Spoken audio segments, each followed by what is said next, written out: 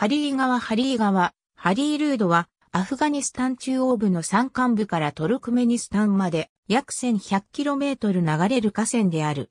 トルクメニスタンでは、テジェンオアシスを形成し、カラクム砂漠に消える。トルクメニスタンでは、テジェン川と呼ばれ、テジェンという町の川を通る。また、古代ギリシアでは、アリウスとして知られ、ラテン語では、タリウスとして知られる。ジャームのミナレットの川を流れるハリー川ハリー川に、かかるハシーラントルクメニスタン有効ダムハリー川は、ヒンドゥクシュ山脈の一部を形成するバーバー山脈を水源とし、基本的に西に向かって流れる。アフガニスタン西部で、ハリー川は、都市ヘラートの南方を流れる。ヘラートの約 200km 上流のジャームのミナレット遺跡でジャーム川と合流する。ヘラートの位置する谷は、歴史的にその肥沃さと工作地の密集によって有名であった。ヘラートを潤すため、この川から多くの運河が引かれており、10世紀の地理学者、ムカッタシーは7本、14世紀の学者、モストーフィは9本の主要な運河を紹介している。ヘラートを過ぎると、ハリー川は北西へ向かい、アフガニスタン・イラン国境の北側を形成する。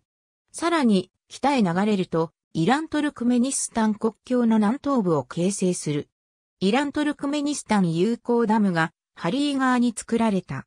また、アフガニスタンインド友好ダムは、アフガニスタン西部ヘラート州のチシティ、シャリーフ地区において、ハリー川上に存在する水力発電と灌漑用のダムである。ハリー川の1年間の流量は約55立方メートル毎秒であるが、1939年の春の洪水においては、1090リッター、片メートル毎秒まで増加した。2000年には10ヶ月の干ばつによって完全に干上がった。